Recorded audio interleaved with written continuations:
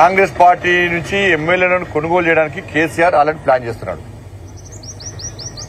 Already చాలా మంది Congress party నాయకులతోని నాయకులు కేసీఆర్తో టచ్లో ఉన్నారు. ఈ పార్లమెంట్ ఎన్నికల తర్వాత కేసీఆర్ ఏదైనా చేయొచ్చు. ఎందుకంటే కాంగ్రెస్ పార్టీలో కేసీఆర్ కోవట్లు చాలా మంది ఉన్నారు. వాళ్ళతోని ఆల్రెడీ బేరసారాలు సాడేసిండు మొన్న అసెంబ్లీ ఎన్నికల్లో చాలా స్పష్టంగా చెప్పింది నేను చాలా మందికి కేసీఆర్ పైసలు ఇచ్చిండు. ఎందుకంటే కేసీఆర్ ప్లాన్ మంది కుట్టినోని కూడా వాళ్ళు అనుకుంటాడు కేసీఆర్. ఆయన ఆయన ఆలోచన దుర్మార్గపు ఆలోచన బీఆర్ఎస్ పార్టీ. కాబట్టి పార్లమెంట్ ఎన్నికల తర్వాత ఏదైనా జరగచ్చు. కేసీఆర్ మూర్ఖత్వపు ఆలోచన వల్ల కేసీఆర్ కుట్రల వల్ల ఏదైనా జరగదు కేసీఆర్కు ప్రజాస్వామ్యం మీద నమ్మకం లేదు రాజ్యాంగం మీద నమ్మకం లేదు తిట్టాలంటే గౌరవం లేదు. తోటి మనిషి అంటే కనీసం విలువ ఉండదు ఆయనకు ఆయనకు ఆయన కుటుంబానికి. కాబట్టి ఏ దేనికైనా ఆ కుట్రలకు తెగించి ముందుకు వచ్చే వ్యక్తి కేసీఆర్ కేసీఆర్ కుటుంబం. ఈ కాంగ్రెస్ వాళ్ళకు మీరు ఫస్ట్ ఆ కేసీఆర్ సంగతి చూడరు ఫస్ట్. మీరు బీఆర్ఎస్ బీజేపీ ఒకటి బీఆర్ బీజేపీ బీజేపీ ఎక్కడ ఒకటే. బీఆర్ఎస్ బీజేపీ ఒకటి మేము కలిసి పోటీ చేస్తాం ఎప్పుడైనా? మీరు దాన్ని పట్టుకొని మళ్ళీ పార్లమెంట్లో గెలిచే ప్రయత్నం చేస్తే మీ సంగతి కేసీఆర్ చూస్తారు ఫస్ట్.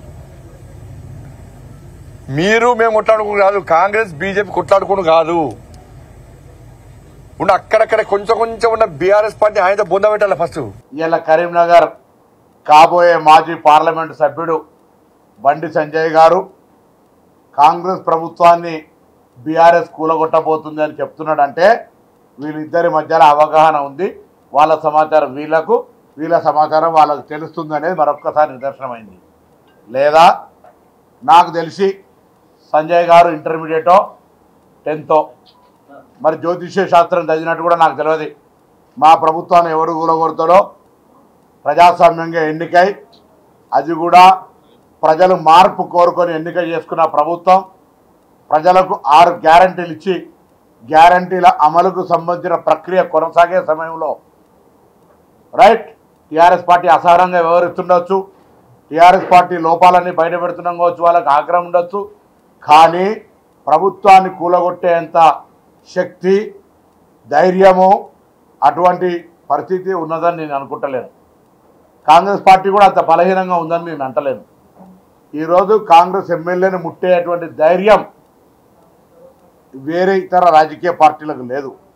ఇవాళ భారతీయ జనతా పార్టీ ఒకవేళ పొరపాటున కేంద్రంలో అధికారంలోకి వస్తే నిట్ట నిలువున టీఆర్ఎస్ పార్టీని చిలుస్తారని డిఆర్ ఢిల్లీలో మొన్న నా పర్యటనలో కొంతమంది మిత్రులు ఫ్లైట్లో కలిసి చెప్తా ఉన్నారు.